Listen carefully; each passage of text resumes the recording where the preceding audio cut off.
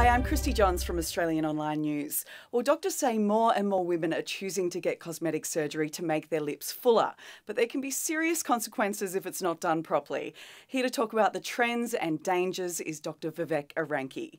Dr. Eranki, what are the hottest lip filler trends at the moment? Yeah, so lip fillers are one of the most common procedures. So at Cosmetique here, we perform about 2,000 lip fillers every month.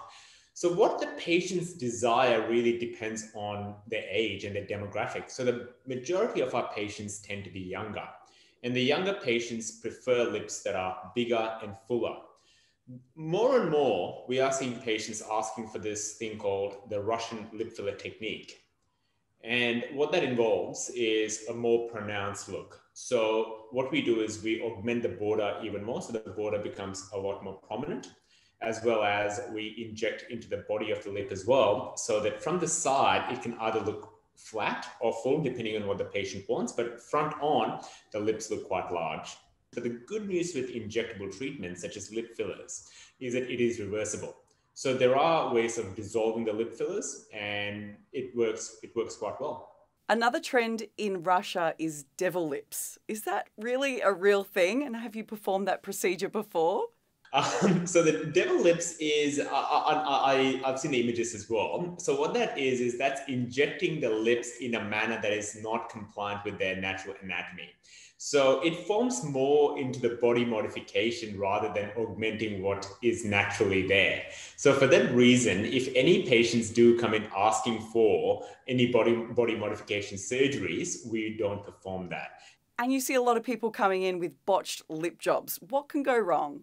Yeah, so it's unfortunate that we do see this a bit, but it's important to remember that lip injections is a medical procedure. So the active ingredient is a scheduled drug. So as with any medical procedure, there are risks involved.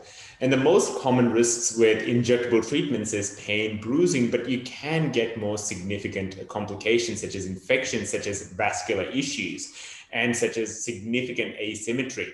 And we are seeing more and more of that, unfortunately, with time. And this is also a reflection of how cosmetic treatment has become more commoditized. And there are people do, performing this procedure with less and less experience. But I mean, so many women are getting this done. Um, why do you think that is? Well, I mean, for one, um, injectable treatment is becoming more and more commoditized, so it's more and more available. In the in the olden days, there weren't many practitioners who were performing it. The other thing that's happening is the the, um, the procedure is getting safer and safer. So if you look at the treatments available nowadays, as opposed to treatments available about 20 years ago, the, the safety profile of the injectable treatments nowadays is a lot better than what was available in the past. And finally, social media has a role to play as well. So in the past, I mean, back in my day, we didn't have Instagram or Facebook, but nowadays people do compare how they look to how their friends look. And thanks to the COVID pandemic, we've also had more and more people using mediums such as Zoom. So they get to see themselves more and more on screen.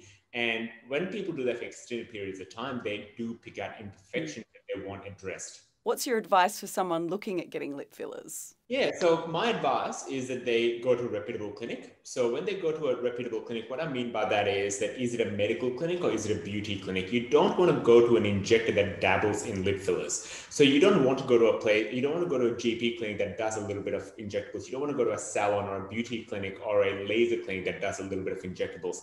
You want to go to a place that specializes in it. The other thing I would ask is what products are they using? You you have to make sure that the uh, products that are used are TGA approved and they're from reputable brands as well. So brands such as Allergan and Galderma have the best, best safety ratings out of all the others. Um, the other things I'd basically look for is the experience of the injector. So the more somebody performs something, the safer they're going to be at it as well. The final thing I'm asking to check is the training as well. So in Australia, the peak body for cosmetic medical and surgical training is the Australian College of Cosmetic Surgeons. And they basically set up a program to make sure that the practitioners are very safe at how they perform the procedures. Well, thank you so much for your time.